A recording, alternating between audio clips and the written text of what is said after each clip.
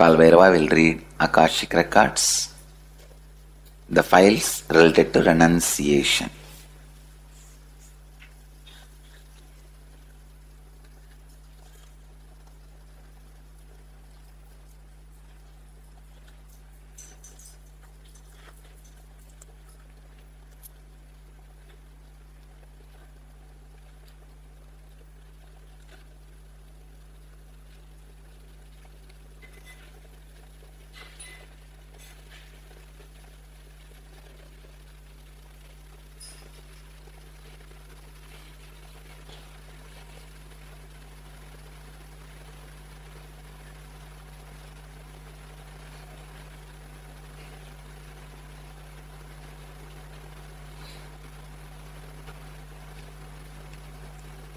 Renunciation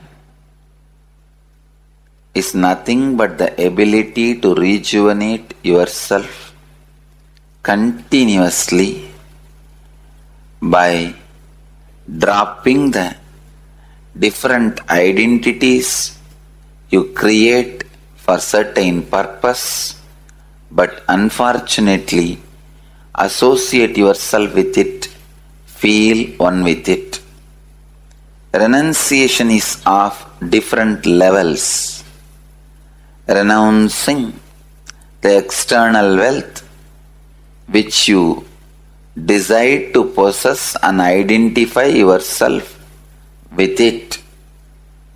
Renouncing the name and fame with which you identify yourself and possess and feel as one with. Renouncing people with which you identify yourself, possess, and feel one with, renouncing the identities which you possess and identify yourself and feel one with.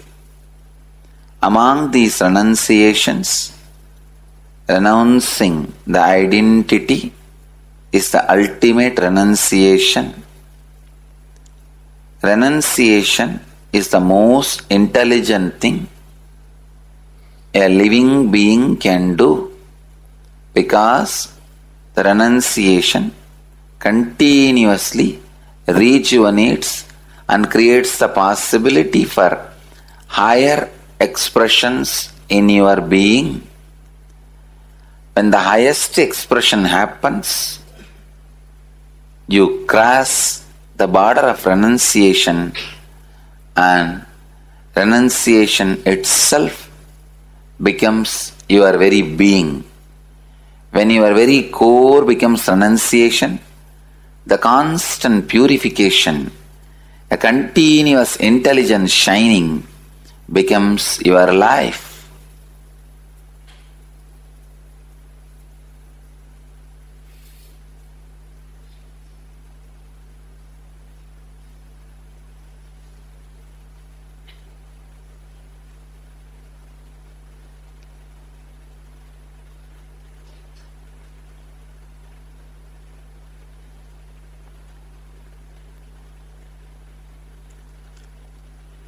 Constantly renouncing thoughts is unclutching. Living renunciation as a lifestyle is living enlightenment.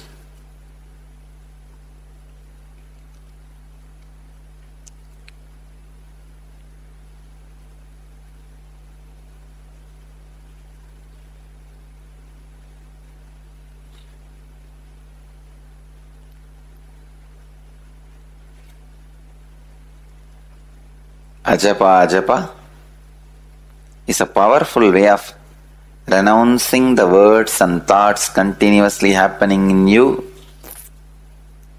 feeling connection is a powerful method to renounce all the emotions which are not necessary happening in you.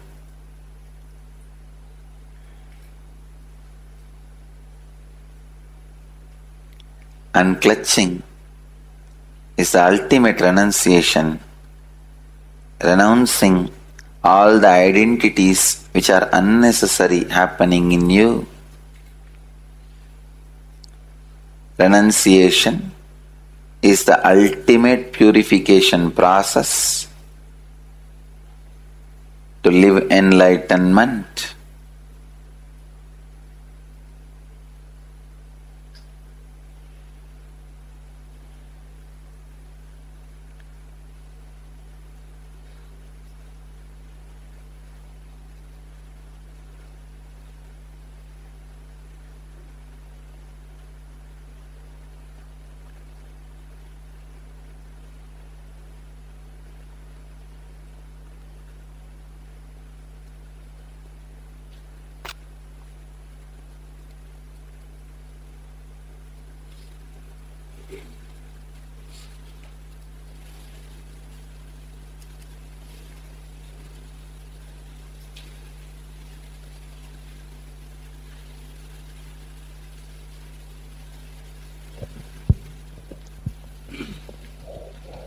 The first question on renunciation we have is from Ravi from Vancouver, Canada.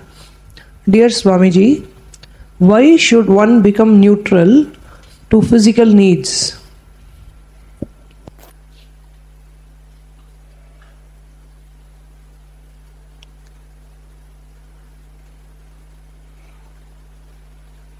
The why do not does not have answer. When the spiritual evolution happens, when spiritual powers are unfolding through your body, becoming neutral to physical needs just happens. As a flow of life, this expresses naturally in you. He's also asking, isn't the very exist very creation of male and female and the senses also the gift of existence? Existence provides everything, including poisons. It is up to you to use what you want and live the way you want based on the goal you want to reach and the purpose you feel as your life's mission.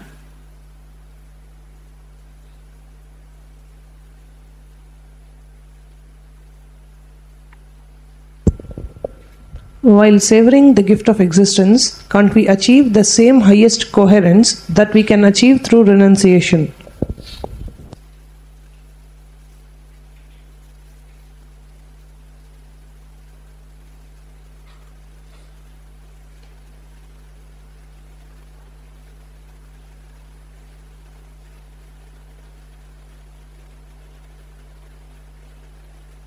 Whether you savor or renounce, in the end, only when the identities are renounced, highest is achieved.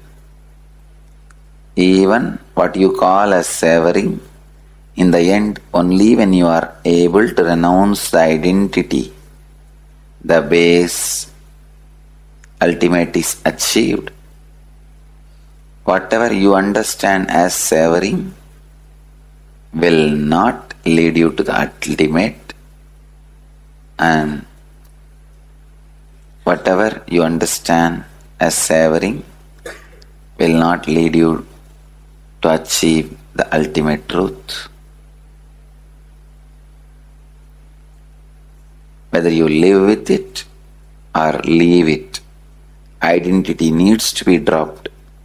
Only when you renounce the identity, ultimate is achieved. If you can renounce the identities, even if those things are around you, you will achieve the ultimate. If you can't renounce the identity, even if you physically move away from those things, you may not be able to achieve the ultimate. Finally, everything boils down to renouncing the identities.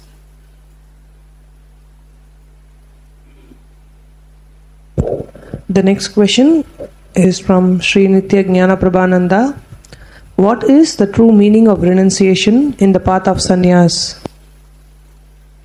renouncing all the outer world objects which you feel as your possession, become one with it out of your delusion, renouncing all the people, renouncing all the places, renouncing all the pleasures, renouncing all the thoughts, renouncing all the identities. Renunciation in its complete pure form is sannyas. The sannyas, even the training of the sannyas done by an incarnation constantly reminds you into the renunciation and puts you in renunciation.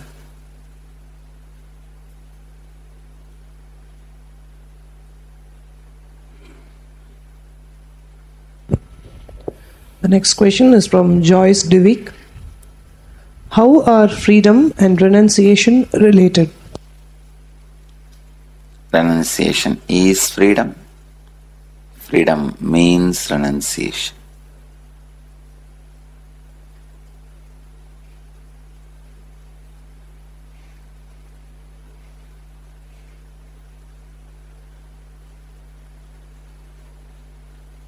The next question is from Estelle Reiter from France. Dear Mahadeva and Kalabhairava, Dear Master, I listen to many of Swamiji's videos and I realize that I have a deep misunderstanding about renunciation and so many questions are coming up. How do I know whether my biomemory is ready for renunciation? All biomemories by nature programmed for renunciation. It is your mind which goes against the renunciation, creates more and more troubles and identities, misconceptions. If you allow your biomemory to function in a free, natural way, you will not overeat, you will not oversee, you will not overenjoy, you will not indulge in anything. As a natural flow, you will renounce. Renunciation is way of life, flow of life as per cosmic law.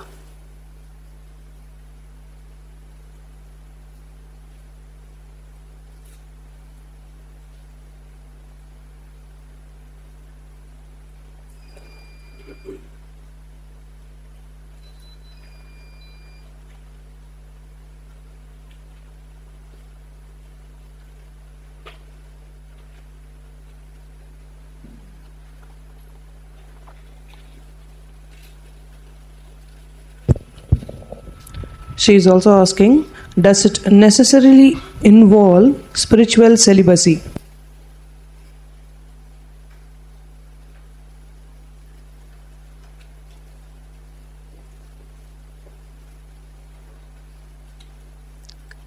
Celibacy means just keeping yourself physically, mentally, emotionally away from lust. The renunciation, in the ultimate sense, is keeping yourself away from identities. If lust is going to awaken certain strong identities in you, keeping away from that identity is renunciation. If keeping away from the lust physically, mentally, emotionally helps you to be away from the identity, then that path can be used as a method to renounce the identity. But ultimate is renouncing the identity. If you think by keeping yourself physically away, the identity is not disappearing, it is only becoming more and more strong, getting strengthened, then going through the lust and transforming it into love, the pattern out of which you can easily unclutch and renounce and evolve and be free can be evolved. It is like diluting the strength of the patterns. The lust is too strong pattern. If you can go into it and go through it with awareness, the patterns gets diluted. The influence of that pattern over you gets reduced. Then it flowers into love. Then that pattern by nature is very simple, does not have too much power over you. You can easily move to the next level, patternless renunciation, full blown being, fully flowered, enlightened being.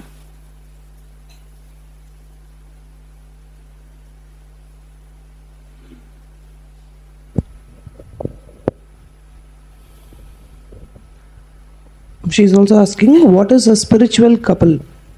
There is no such thing as spiritual couple in cosmic law.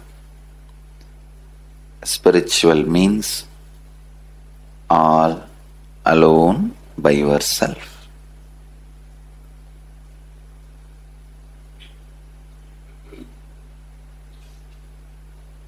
Two spiritual beings does not make spiritual couple.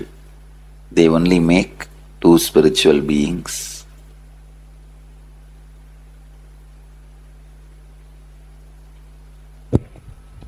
The next question is from Mahanand Mrityunjay from Bangalore. Swamiji, Pranam. Which one is the true and real renunciation to be practiced? A. Mental level renunciation. B. Physical or material level renunciation. If you are established in the material level, if your mind identify itself constantly in material level, material level renunciation also should be practiced. If you are established only in mental level, mental level renunciation is enough. But mental level renunciation is necessary for everyone. Material level renunciation can be decided based on the level in which you are established.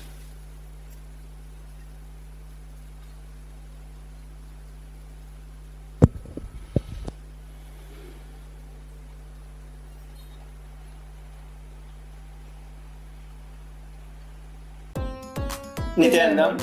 Thank you for watching and if you found the video enlightening, Please give it a like, share it with your loved ones, and subscribe to stay connected with us. don't forget to click the bell icon to receive the notifications.